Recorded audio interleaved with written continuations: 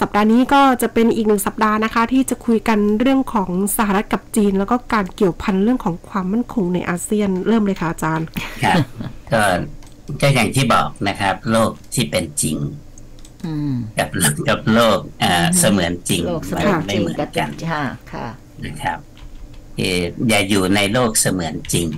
นะครับอ่าอ่าเราต้องอยู่ในโลกที่เป็นจริงนะ อย่าอย่าไป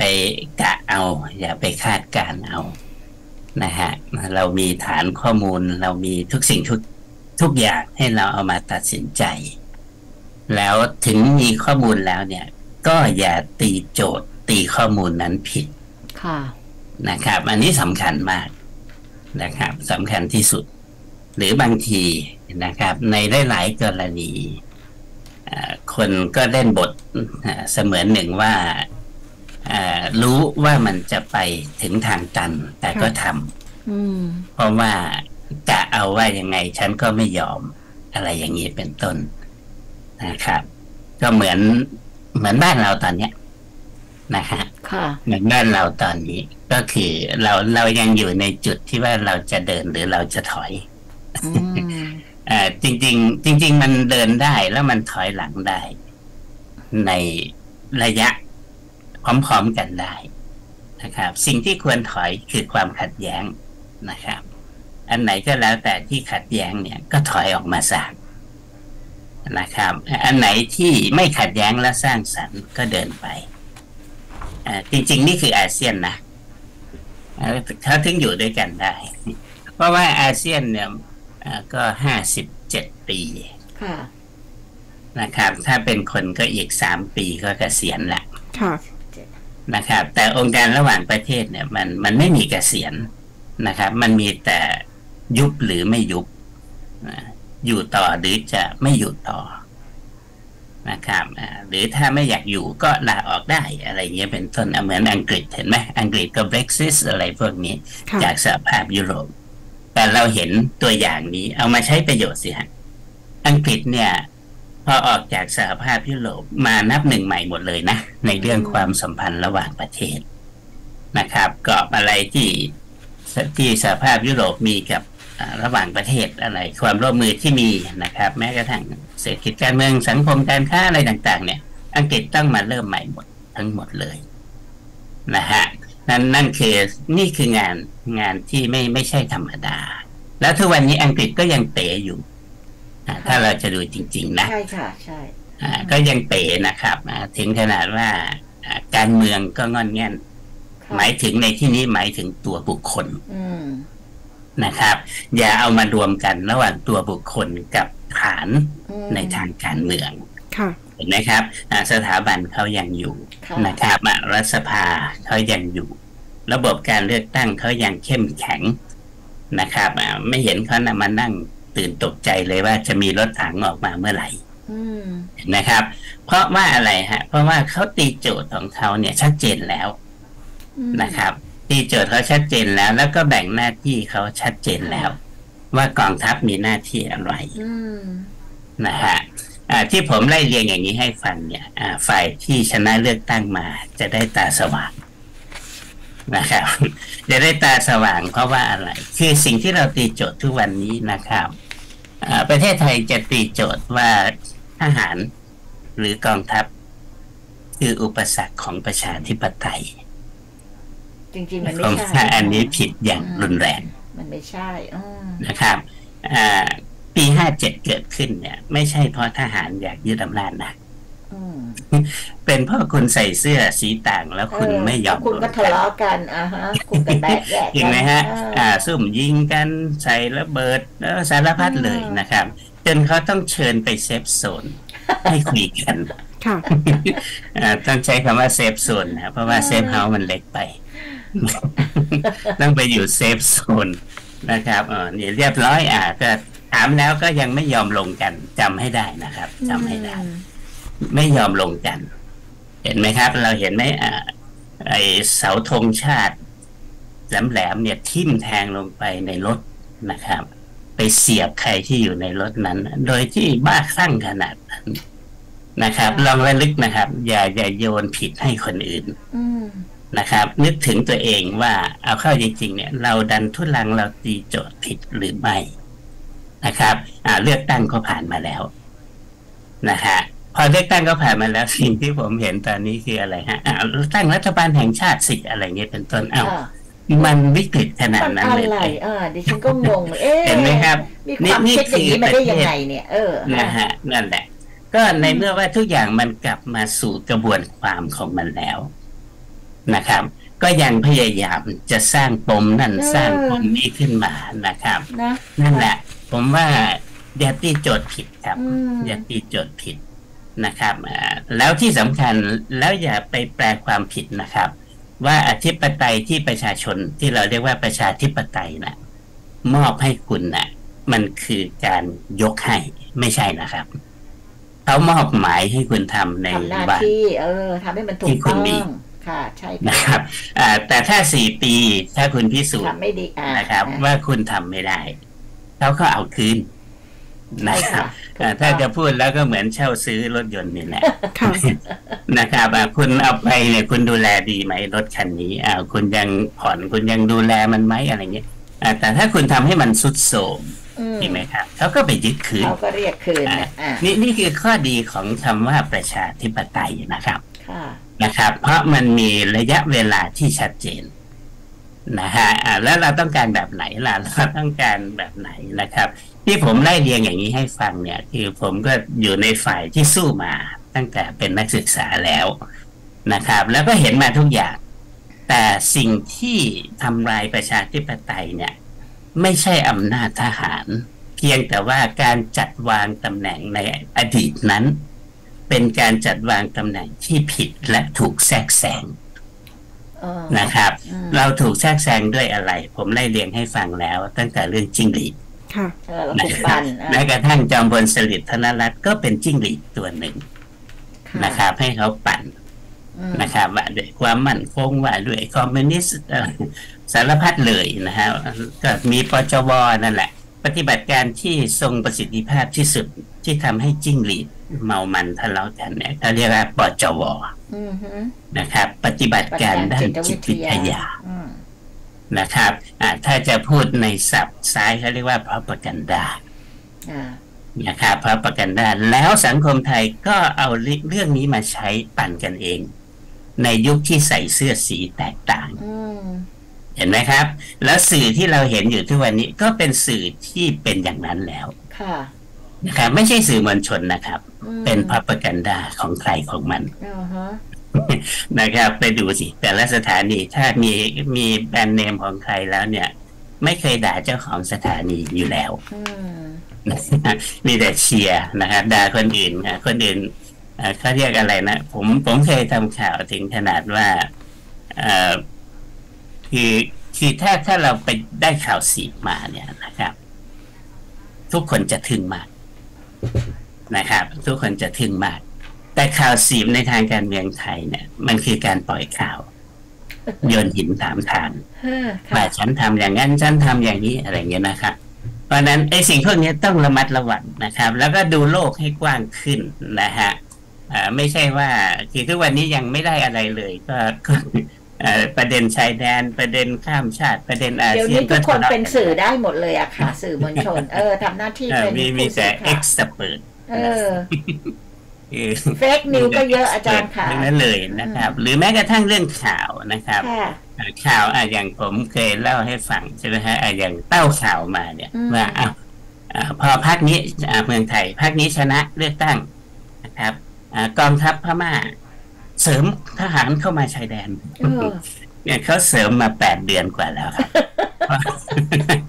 เออก็ไปเต้าข่าวกันมาเออเพื่อเอ่อเห็นไหมครับคือไอ้เรื่องพวกนี้เนี่ยต้องระมัดระวังอย่างยิ่งยวดนะครับ แล้วก็อ่าในช่วงวันสองวันมาเนี่ยนะครับ เราจะเห็นคนที่ดังที่สุดก็คือสมเด็จฮุนเซนค่ะอ่าจำได้ไหมเราพูดสมเด็จฮุนเซนนี่มากี่สิบปีแล้ว ใช่ค่ะจริงไหมฮะอ่า แต่สังคมไทยเนี่ยมักจะชอบฟังเมื่อมีประเด็นความขัดแย้งแต่ไม่เรียนรู้เออนะครับอ่าฮุนเซนเขาก็พูดเรื่องแรงงานเรื่องอ่าเรื่องการเมืองไทยพักนี้จะผลักดันแรงงานเข้ากับอะไรพวกนี้นะครับค่ะคือคือถ้าคนไปฟังฮุนเซนเนี่ยคือทะเลาะกันได้ทุกวันอืมนะครับ แล้วฮุนเซนสามารถที่จะเป็นข่าวได้ตลอด 24 ชั่วโมง เพราะว่าสำนักข่าว เป็นของครอบครัวอือฮึครับเอ่อถ่ายทอดสดได้ตลอด 24 ชั่วโมง ถ้าฮุนเซนไม่นอนค่ะนะครับอ่าเพราะฉะนั้นสิ่งที่พูดเนี่ยฮุนเซนไม่สนใจหรอก แต่สิ่งที่ฮุนเซนสนใจก็คือว่าอ่าเขาพูดเรื่องแรงงาน ก็เพราะว่าเขาไปพูดในโรงงานอุตสาหกรรมอ่าเขาก็ต้องเป็นห่วงแรงงานนะมันอยู่ในช่วงหาเสียง คุณลองบอกว่าไล่ก็ไล่มาสิเออตัวใครตัวมันนะใครใครจะไปเลือกฮุนเซนจริงไหมครับ นั่นแหละ เพราะนั้นสิ่งพวกนี้นะครับ อย่าอย่าไปยึดติดมากในเรื่องพวกนี้ แต่ถ้าเรารู้ของจริง มันจะทำให้เรารู้ว่าตำแหน่งแห่งที่ที่เราอยู่และเราควรจะทำเป็นอย่างไร เช่นเดียวกันกับอเมริกาตอนนี้นะครับอ่าเป็นเป็นอินทรีที่เมามันมากนะครับ เมาแล้วก็มันนะฮะเติมเอสเข้าไปด้วยก็ได้ครับไปเบรกสักครู่ครับเชิญค่ะเราจะพักกันสักครู่นะคะ อาจารย์ทรงฤทธิ์คะเมื่อกี้อะครับชอบใจมากเลยที่อาจารย์อินอาจารย์บอกว่าอินทรีกำลังเมามันแล้วมันนี่มี S ด้วยมันแสดงมันเยอะเลยนะอาจารย์คือคือจริงๆ แต่เขาเขาก็คนเห็นเห็นคนอเมริกันนะฮะถ้าถ้าใครที่จะคนอเมริกันนะยิ่งยิ่งถ้าไม่ได้เลือกโจไบเดนเนี่ยก็ก็จะร้อนใจ เช่นเหมือนเหมือนกันกับคนไทยนี่แหละ ค่ะ นะครับอะแต่จำได้ไหมแล้วลองย้อนไปอยู่ในห่วงที่โดนัลด์ทรัมป์อยู่สิอืมผมว่าคนคนทั้งโลกเนี่ย เดือดร้อนมากกว่ายุคของโจไบเดนอืนะมค่ะถ้าถ้ามองในแง่ของอุณหภูมิค่ะนะครับอุณหภูมิของความหงุดหงิดใจอืมอะไรสารพัดเนี่ยนะฮะเอ่อแต่เอาเข้าจริง ๆ แล้วเนี่ย อย่าลืมนะครับ ว่าทั้งสองพรรคเนี่ยเขาทำเพื่อผลประโยชน์แห่งชาติของเขาอืมอืมนะครับ แล้วเราเคยเห็นคนอเมริกันมาปิดถนนไหมล่ะ ไม่เคย นะครับอ่าก็มีแต่ตอนปลายตอนใจขอนั้งนแหละขอ่าองโดนัลด์ทรัมป์นี่แหละอ่าที่บุกรุกเข้าไปในรัฐสอ่านั่นภาแหละไปยึดอ่าไปยึดคอนเกรสเลยนะฮะอืมไปยึด Capitol Hill สวยนะ Capitol Hill ถ้าค่ะถ้าใครไปนะฮะอ่าไปดูพิพิธภัณฑ์ไปดูอะไรเนี่ยอืมอ่าตรงวอชิงตันตรงนั้นสวยมากนะครับอ่ามามาอนุสาวรีย์อ่า ก็เรียกอะไรอนุสาวรีย์เอ่อแห่งชัยชนะอะไรพวกนี้นะครับอืมอ่าอ่าแล้วก็สมิธโซเนียนอะไรพวกนั้นก็เนียจะนอยู่ใช่ค่ะนะฮะแล้วก็มีเสาคอลัมน์ตรงนั้นนะโอบิลิสใช่อะไรใช่นะแม้กระทั่งดอกไม้ที่เหม็นที่สุดในโลกก็อยู่ที่นั่นอะใช่ค่ะเคยเห็นไหมฮะ ดอกไม้ยักษ์นะฮะมันมันจะเหม็นปีละครั้ง ก็จะเป็นข่าวทุกปีนะคะโดยโดยเฉพาะโดยเฉพาะมันก็จะเหม็นในช่วงเลือกตั้งนี่แหละค่ะ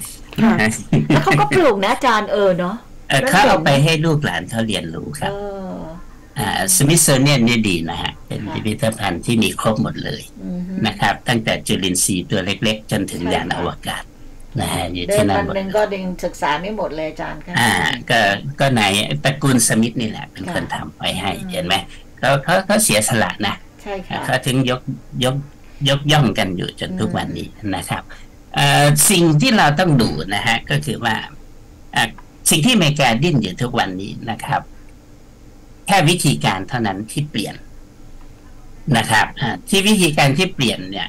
ก็คือว่าทำยังไงมันถึงจะสมูทมากขึ้นไหมอะไรประมาณนั้นนะครับ ถึงเขาจะแย่งอำนาจกันนะฮะก็โดนัลด์ทรัมป์ก็จะกลับมาอีกแล้วก็ก็ต้องดูคนอเมริกัน แล้วเราก็จะเจ็บไปกว่าเดิมแล้ว จีนก็จะสบายใจมากกว่าอ๋อเพราะว่าอะไรรู้ไหมฮะ เพราะว่าโดนัลด์ทรัมป์เนี่ย ฉันจะ make America great again กลับบ้านนะฮะกลับบ้านกลับบ้านนะเพราะฉะนั้นสิ่งที่กระทบกับจีนก็จะมีแค่เรื่องการค้าเศรษฐกิจเท่านั้นอืมเป็นส่วนใหญ่นะครับอะก็จะไปสารพัดนั่นแหละที่ผมอาบอกว่าทำไม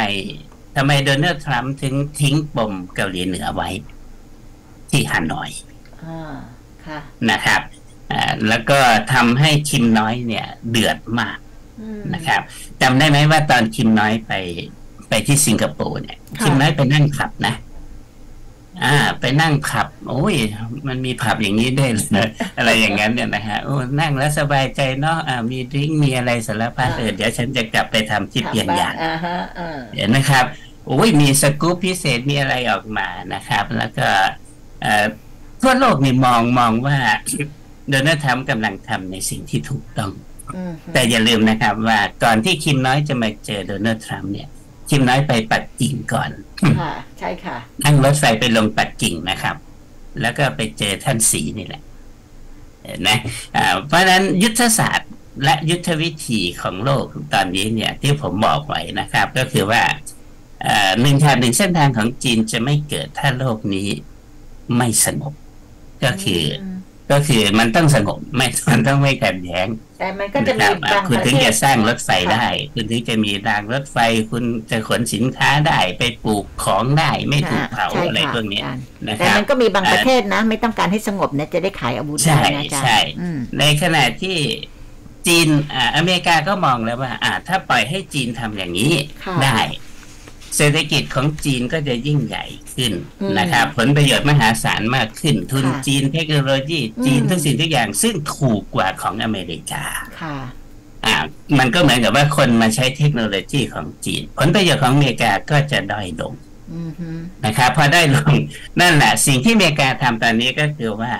อะไรที่จะสงบฉันจะทำให้มันไม่สงบอืมนะครับ เพื่อที่จะไม่ให้สร้างอันนี้ผมแค่ยกตัวอย่างรางรถไฟค่ะ นะครับอ่าอย่างที่วันนี้สร้างเข้าไปในในพม่าไม่ได้นะครับ ก็เพราะว่าพม่าเนี่ยยังทะเลาะกันอยู่อืมแล้วก็จะทะเลาะต่อไปในสายตาของอเมริกาอืมอ่าค่ะแล้วจิ้งหรีดอย่างเราเรามานั่งนึกอะไรรู้ไหมอ่านะฮะอ่าแซงแซงแล้วเราถูกแซงแล้วนะครับเอ่อเขาเอ่อเขาจ้างเราแล้วเอ่อเขากุมเราแล้วอะไรเงี้ยนะครับ นี่นี่คือจริงหลีดที่ที่แย่มากนะ ถ้าคิดอย่างนี้อืมนะครับ คือถ้าโง่ขนาดนั้นก็ยกประเทศให้เขาเถิดนะเอ่อไม่ไม่ต้องคิดมากนะครับคือต้องเป็นจิ้งหรีดที่ฉลาดแล้วก็เรียนรู้นะครับ ผมถึงบอกนะฮะว่าเรียนรู้ซะโลกนี้นะครับ ไม่ว่าจีนหรืออเมริกานะฮะไม่ว่าจะเป็นมังกรหรืออินทรีเนี่ยล้วนแล้วแต่ทำเพื่อให้พวกเขาเนี่ยได้อยู่เหนือคนอื่นอืมอ่าผมถึงบอกนะครับ ว่าอิทธิพลในโลกเนี่ย ถ้ากลุ่มได้ทั้งสี่เรื่อง นะครับ เศรษฐกิจเศรษฐกิจความมั่นคงอ่าก็คือการทหารนะครับ วัฒนธรรมและการทูตอ่านะอันนี้สำคัญทั้งสี่อย่างเอ่อในห่วงที่อาเซียนเปลี่ยนผ่านนะครับอ่าผมต้องใช้คำนี้ที่เปลี่ยนผ่านก็เพราะว่าอะไร ก็เพราะว่าเอ่อเมื่อมันไม่มีสงครามเย็น ต้องถือว่าเป็น เป็นยุคที่อาเซียนเปลี่ยนผ่าน เพราะอเมริกาไม่ได้มองในเรื่องของความแตกต่างในเรื่องลัทธิทางการเมืองอืมฮึนะครับ อเมริกามองอย่างเดียวก็คือว่า ใครก็ได้ที่จ่ายเงินทรัพย์สินทางปัญญาให้ฉันได้ครบ เป็นเพื่อนฉันหมดอืมนะครับ แล้วอย่าลืมนะครับ ทุกวันนี้ทรัพย์สินทางปัญญามันไม่ได้กระจุกตัวอยู่ในอเมริกาค่ะจีนผลิตมากกว่าอืมแม้ว่าจะราคาถูก แต่มันก็ดีสำหรับประเทศที่ยากจนอืมฮึอย่าลืมนะครับ ประเทศยากจนมันมากกว่าประเทศที่ร่ำรวยค่ะแล้วคนจนมากกว่าคนรวยนะเอาแค่หัวเว่ยเนี่ย ขายได้มากกว่า แต่มีเงินน้อยกว่า Apple นะครับอืมไอโฟนไอโฟนขายแต่ละรุ่นอุ้ยโอ้ยแพแพงงมากเลยอาจารย์อ่า จองกันข้ามปีเลยเอ่อเอ่อ ไปดูไปดูหัวเว่ยสิครับไปซื้อได้ตลอดเวลา แต่หัวเว่ยก็ไม่ได้ถูกนะถ้าดีๆหน่อยก็หมื่กว่าบาทมันก็ถูกกว่าอาจกัรนย์เยอะนะครับอ่าถ้าถ้าเราเทียบนะฮะมันก็ถูกกว่ากันเยอะจริงๆอ่าคือถ้าถ้าให้ให้สเกลของตลาดเนี่ยหัวเว่ยสเกลใหญ่กว่าเยอะค่ะอืมนะฮะมันก็เลยทำให้เห็นนะฮะแล้วอย่าลืมนะฮะมันไม่ได้มีแค่เรื่องโทรศัพท์ในโลกนี้อืมฮึ นะฮะพอมันเป็นอย่างนี้เสร็จปุ๊บนั่นแหละครับ ผลประโยชน์อเมริกาก็เริ่มจะหายไปเรื่อยๆหายไปเรื่อยๆทุกวันนี้เราก็จะเห็นเรื่องน้ำมันเรื่องพลังงานอืมเนี่ยนะครับ เรื่องน้ำมันเรื่องพลังงาน และสิ่งหนึ่งซึ่งเอ่อโลกไม่ค่อยจะพูดถึงมากสักเท่าไหร่ฮะแต่ต่อไปนี้ขอให้มองเลยนะครับ ก็คือกลุ่ม o p e ป อ๋อโอเปกแล้วโอเปก plus ด้วยนะอาจารย์ว่าใช่อืมเพราะ o p e ปเนี่ยเขารู้ตัวแล้วนะครับว่าอ่าพลังงานเอ่ออืมพลังงานไอ้เขาเรียกพลังงานอะไรหมุนเวียนค่ะนะครับ พลังงาน generation ใหม่ใหม่เนี่ยซึ่งเนี่ยไม่ค่ะเป็นฟอสซิลเนี่ยนะครับ มันจะมาแทนภายในไม่เกิน 25 ปีข้างหน้านี้อืมค่ะนะครับ นั่นหมายความว่าอะไรฮะ หมายความว่าโอเปกก็จะอยู่ไม่ได้นะ เพราะว่าคุณเลี้ยงมาในชีวิต ตั้งแต่ใช่ค่ะบรรพบุรุษคุณร่ำรวยมาเนี่ยค่ะการค้นพบน้ำมงน้ำมันเนี่ยนะครับเอ่อคุณก็หากินกับอันนี้มาโดยตลอดนะครับ นั่นแหละ เราถึงเห็นเจ้าชายของซาอุอืมค่ะไปดูเดอะไลน์นะค่ะใช่ค่ะ โอ้โห เดอะไลน์นี่ทันสมัยกว่าเมือง SpaceX อยู่นะครับค่ะอ่าแต่เขาทำได้นะครับ เพราะตอนนี้เขามีเงินอืมเขาขาดแค่เทคโนโลยีนะครับ แล้วทีนี้ทำไมเขาไม่ใช้เทคโนโลยีอเมริกาล่ะอ่าที่เขาไม่ใช้เทคโนโลยีอเมริกาก็คือว่า แค่ชั้นโทรศัพท์ก็ยังดักฟัง อืม จริงค่ะอันนี้ เออ อ่า แล้วโลกนี้รู้ว่าอเมริกาดักฟังคนทั้งโลกเพราะใครอะฮะไอ้สโนเดนใช่ไหมใช่เอ็ดใช่เวิร์ดค่ะสโนว์เดนถูอ่ากต้องสโนเดนเป็นใครอะคนอเมริกัน อือฮึอ่า แต่ผมถือว่าเขาเป็นอเมริกันที่มีคุณธรรมเออค่ะ ชีวิตโลกนี้ส่วนตัวโอ้โหถูกแทรกแซงหมดเลยนะครับแล้วสโนเดนทุกวันนี้อยู่ไหนฮะ อยู่กับรัสเซีย เห็นไหมอ่าคือผมผมกล้าพูดเลยนะว่า ถ้าแค่ปูตินบอกว่าอะเอาสโนเดนคืนไปแล้วเราเลิกทะเลาะกันเนาะอ่าสมมุตินะ แต่ผมว่าปูตินไม่ทำเพราะว่าปูตินเขาก็บอกว่าฉันก็ใหญ่เหมือนกันอืมนะครับ แต่ผมบอกได้อย่างหนึ่งไม่มีใครอยู่คำฟ้าฮะ ไม่มีใครอยู่คำฟ้าแต่สถาบันต้องมั่นคง จริงค่ะอาจารย์เห็นด้วยนะครับ สถาบันต้องมั่นคง อย่ายึดติดกับตัวบุคคลฮะคือถ้าสถาบันไม่มั่นคงแล้วเนี่ย ใครมาก็ตายฮะถูกถูกต้องนะฮะตายเรียบร้อยแล้วก็มันก็จะเริ่มต้นใหม่ฮะก็เรียกสารพัดเนี่ยนะครับ แล้วถ้าอยากรู้ว่ามันเป็นยังไงคือถ้าสถาบันไม่มั่นคงอะอะดูตอนนี้ใกล้ข่าวทุกวันเนี่ยคือสุดานค่ะอือฮึค่ะ เห็นไหมครับน่าน่าเกิดจากทหารสองคนใจมากแย่งอำนาจกัสนองกลุ่มแย่งอำนาจจริงไหมสองคนแย่งอำนาจกันนะไอ้คนหนึ่งเป็นหัวหน้าคนหนึ่งเป็นคนรองแต่ว่าเออแล้วเมื่อไหร่จะลงจากเก้าอี้วะจะได้ขึ้นเห็นไหมฮะมันก็คิดกันอยู่แค่นี้นี่คือวิธีคิดแบบจิ้งหรีดนะครับ แต่ว่าเวลาหาเสียงเวลาอะไรนี่ก็อ้างประชาชนนะครับ เพราะฉะนั้นไอ้สิ่งนี้สำคัญมากมันมีสถาบันหนึ่งนะครับเขาเริ่มทำจัดเอ่อวิเคราะห์ ในเชิงลึกในอาเซียนของเรานี่แหละสถาบันปิ๊งนะครับว่าระหว่างมหาอำนาจเอเนี่ยอเปรียบเทียบระหว่างสหรัฐกับจีนอือฮึว่าใครมีอิทธิพลเหนืออาเซียนมากกว่ากันเขาทำมาตั้งแต่โดนัลด์ทรัมป์ขึ้นอือโดยการเปรียบเทียบนะครับค่ะเพราะฉะนั้นมันก็มีมีมีการทำออกมาในทั้งสี่เรื่อง ก็อย่างที่ผมบอกนะสคถารับบันก็นี้คือไม่ไม่ไบแอสใช่ไหมอาจารย์เชื่อถือด้ไม่ครับ ไม่ครับอืมเป็นสถาบันการศึกษาศึกษาวิเคราะห์อย่างละเอียดเลยแหละค่ะนะครับอ่าไปเปิดดูนะฮะอ่า ชื่อชื่อโลวีอ่าโลวี่ Institute อ่าเคยได้ยินค่ะอาจารย์ อืมอ่าอ่าเป็นไม่ไม่ไบแอสนะครับ ก็คือค่ะเป็นนักวิเคราะห์อ่าอ่าที่เขาเคยมาสัมภาษณ์ผมอยู่อ๋อนะครับค่ะอ่าก็ก็เลยมานั่งวิเคราะห์นั่งอะไรเนี่ยนะครับ ก็คือ ชัดเจนเลย แล้วแล้วทุกสิ่งทุกอย่างนะฮะมีมีข้อมูลอืมมีฐานข้อมูล แล้วก็มีสถิติมีวิธีการปฏิบัติให้เห็น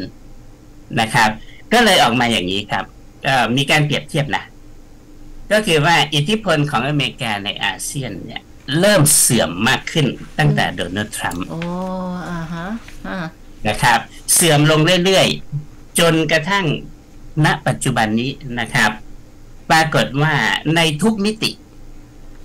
นะครับ ในทุกมิติ จีนแซงอเมริกาหมดเลยโอ้ในอาค่ะเซียนนะครับ และไม่ใช่แซงธรรมดานะครับ แซงในทั้งสิบประเทศ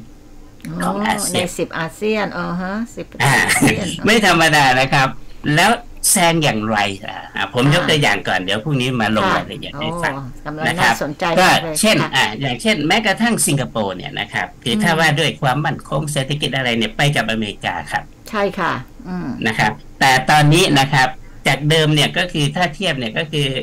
เอ่อสิงคโปร์เนี่ยจะไปกับอเมริกา 70%นะครับอืมห้อยไว้กับจีน 30%แต่ณปัจจุบันนี้ สิงคโปร์นะครับ ไปกับจีน 51%เหลือกับอเมริกาแค่ 49โอ้ค่ะค่ะอันเนี้ยเห็นชัดนะเลคยรับค่ะอ่าเออพรุ่งนี้มาลงรายละเอียดอ่าให้ฟังค่ะค่ะวันนี้ขอบพระคุณมากค่ะอาจารย์ด้วยความยินดีครับ สวัสเอาดีละครับค่ะเราหมดเวลาแล้วค่ะค่ะเราทั้งสามคนลากันไปก่อน สวัสดีค่ะ สวัสดีค่ะ